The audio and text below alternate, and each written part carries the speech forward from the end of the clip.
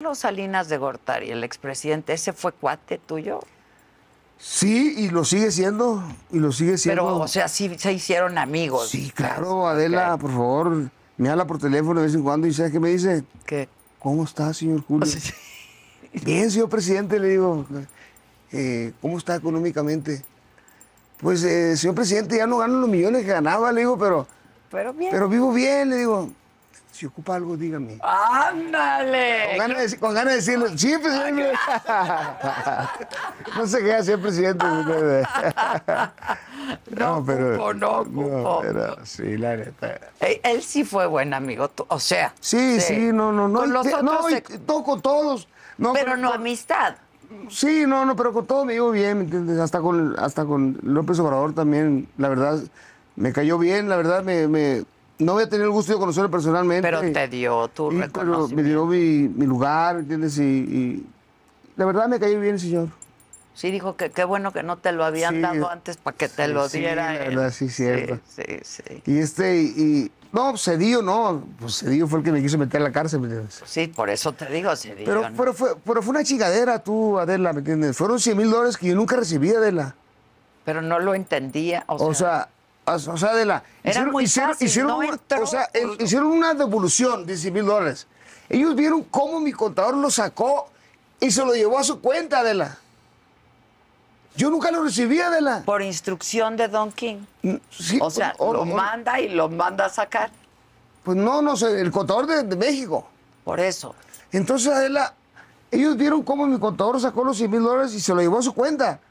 Pero acuérdate, acuérdate, Adela, que en ese entonces el culpable era uno. Sí, claro. Ahora es el contador. Y esa regla se, hicieron, se hizo por qué, ¿sabes por qué? Por mí. Pues es que tú no, no, no cuidabas esas cosas. O sea, ¿no? esa nueva ley se hizo por mí, pero sí, pero me hicieron que pagara como 3 millones, 7 millones de dólares. Aquí en México. Aquí en México sí. Y en Estados Unidos. No, en Estados nada. Unidos no, no, nada, no, al contrario, me devolvían dinero. Sí, ahí te devolvían dinero, claro. No, yo siempre pagué mis impuestos, gracias a Dios. Y los O sigo al menos pagando. según tú pensabas que estabas pagando tus impuestos, no lo que hizo tu contador. No, es que no fue porque no pagué impuestos, Adela, fue por una devolución de impuestos. Que el contador pidió, ¿me entiendes? Pero que a mí no me dijo, que él no se lo chingó, ¿me entiendes? Y él o vieron sea, él pide la devolución, Él pide la devolución, y se sí. pasa a su, a su cuenta la lana. y se pasa de su cuenta el dinero. Sí. O sea, estaba muy claro todo, ¿me entiendes? O sea, y aparte nunca hubo, orden de aprehensión, fue una cacería nada más, ¿me entiendes? Para tapar el ojo al macho, ¿me entiendes? Mediática. ¿eh? Ándale, ándale, mediática. Sí, Sí, para que fuera muy emblemático, eres un personaje. Sí, claro, luego, pues, todo lo que olía a Salinas, pues ya sabes. Sí, sí, sí, sí, sí. Ahí estaba, te faltaste tú, Adela, ahí. No, yo no fui amiga de Salinas, ni de Cedillo, ni de nadie. No, tú nomás, tú nomás te ibas echando chingazos. O sea, que te digo, yo no. Oye, pero ¿y qué? ¿Cómo te hacías de estas amistades? Es que todos querían estar contigo, campeón. Pues todos, querían su cachito del campeón, como dice la, la Todos canción. queremos nuestro. Sí, Pues mira, Adela, son, son tiempos mediáticos, ¿no? Son tiempos eh, que pasan en la vida, ¿me entiendes? O sea, me tocó a mí en ese momento, ¿me entiendes? Ser, Estar en la el- gloria, Estar pues. ser el reflector de, del deporte mexicano, ¿me entiendes? Y, y, y así es la vida, Adela, ¿me entiendes? Esto es... sí.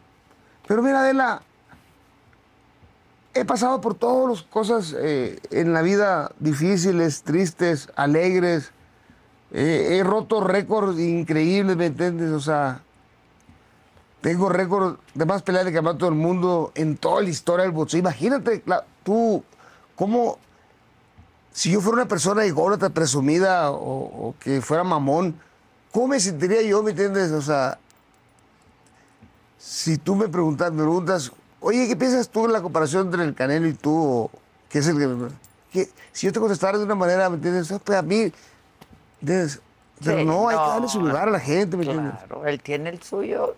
Él es un muchacho disciplinado que se ha ganado lo que tiene a base de, esfuerzo, dedicación, perseverancia y trabajo. Sí, eso. Hay que valorarlo y hay que quererlo. ¿Por qué? Claro. Porque es mexicano. Claro. Pero y hay que valorarlo. ¿no? Claro, ¿me entiendes? O sea, yo en mi tiempo, pues, también fui el referente, ¿me entiendes? Entonces, que hay mucha gente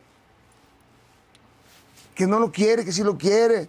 Pues ya, es cada quien, ¿me entiendes? Yo, gracias a Dios, te digo una cosa, Adela.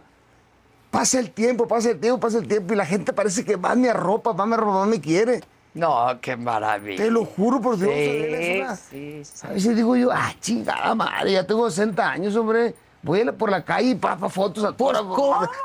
Ay, Dios santo. Julio, nos has dado, nos diste muchas alegrías y las nuevas generaciones te conocen también. Voy a cualquier parte y, y la gente, lo único que recibo son puras bendiciones. Sí, claro. Lógicamente, no soy bonita de oro, ¿no? Hay cada pendejo que me mienta la madre y dice pinche drogadito, pinche alcohólico. Pero Como quien.